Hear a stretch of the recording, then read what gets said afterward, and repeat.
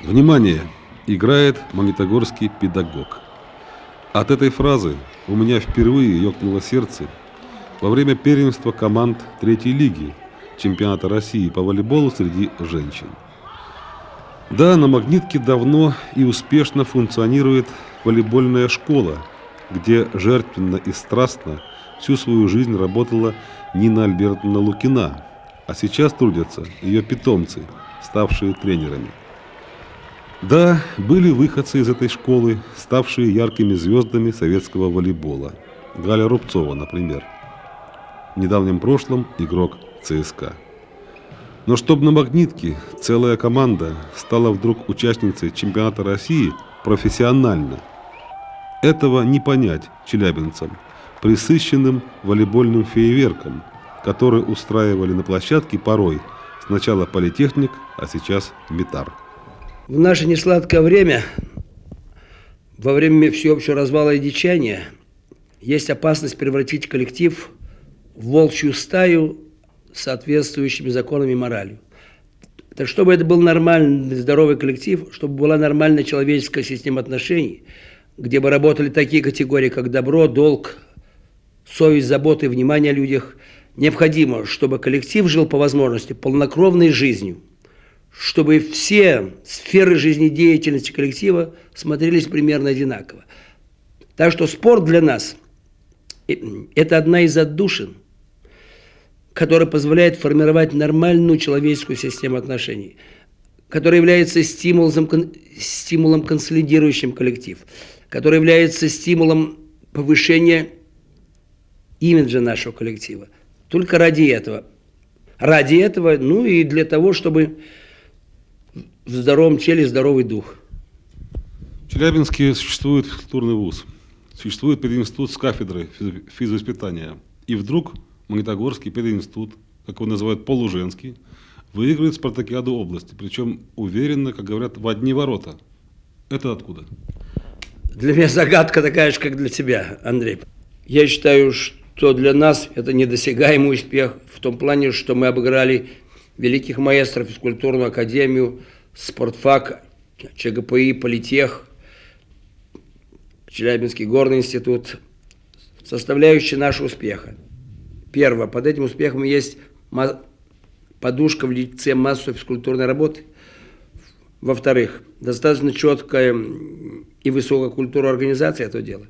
Все-таки дух энтузиазма, дух имиджа института, он работает на всех уровнях и во всех сферах. Каждый горит сделать что-то доброе во благо института.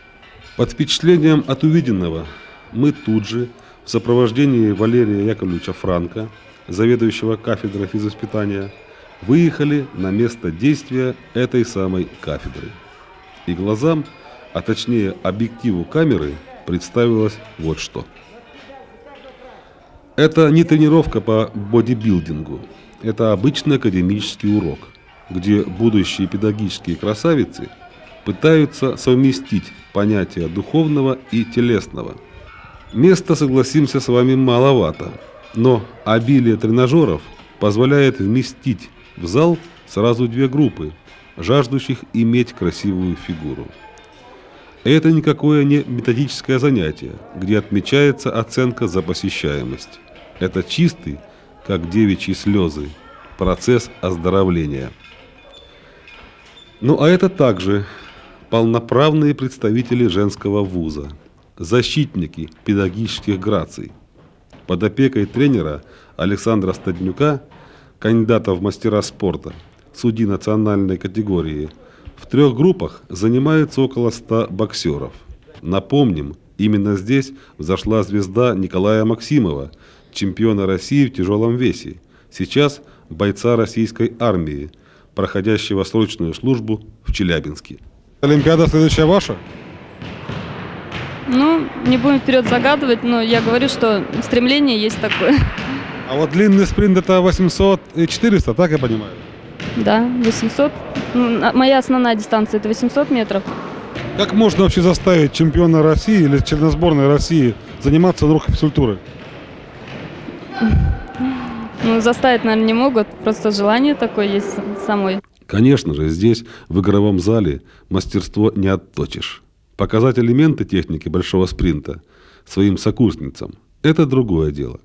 А вот полную нагрузку Наташа Майорова получает под руководством тренера Романа Ильясова в легкоатлетическом манеже ММК, который арендует пединститут.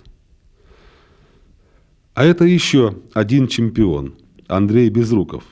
Ему нет пока равных в области среди гиревиков. А готовит его к соревнованиям сам Николай Николаевич Маркин, кстати, чемпион России среди студентов в далекие 60-е годы. А тем, кто помнит на магнитке фантастический всплеск акробатики, уже в более позднее время, в 70-е годы, хорошо знакомо лицо этого человека, почетного мастера спорта, ныне доцента. Да-да, это тот самый Валерий Франк, воспитавший акробатическую пару Вадим Письменный и Нина Пролеткина, ставшую чемпионом мира и Европы. С высот огромных тренерских, когда вы воспитали значит, э, чемпионов мира, Европы, прийти работать вузовским преподавателем. Что для этого нужно было иметь в душе?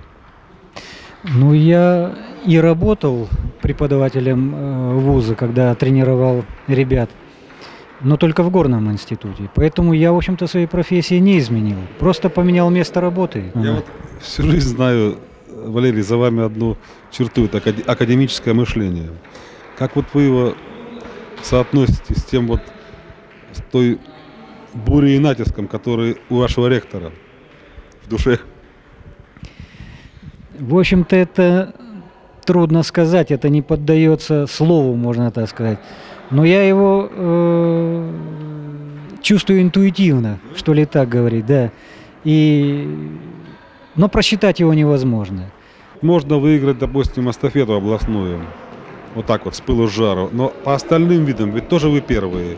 Мы к этому удару, что ли будем говорить, готовились несколько лет. Мы в течение 5-6 лет с приходом ректора к, э, к этой должности создавали традиции, родив их как бы заново.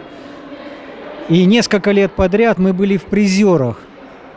И вот, наконец, назрел момент, когда мы собрали все воедино, и нам удалось в итоге выиграть эту комплексную студенческую спартакиаду. Вести концентрированный удар, да? Да. Удар сжатым кулаком, будем так. По смутному времени, так что ли? Да, да, да.